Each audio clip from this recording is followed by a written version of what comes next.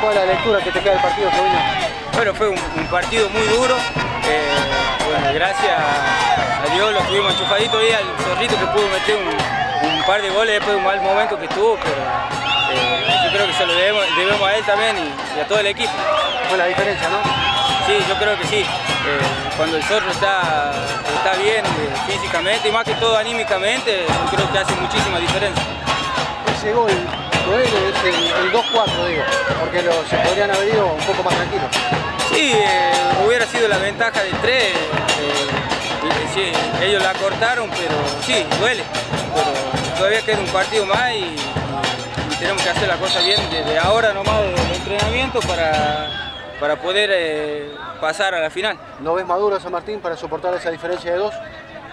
No sé si más duro, pero eh, yo creo que con el trabajo que estamos haciendo, estamos entrenando bien, eh, eh, podemos, podemos salir adelante. ¿Dedicado a quién este triunfo? A mi bebé, que está por nacer.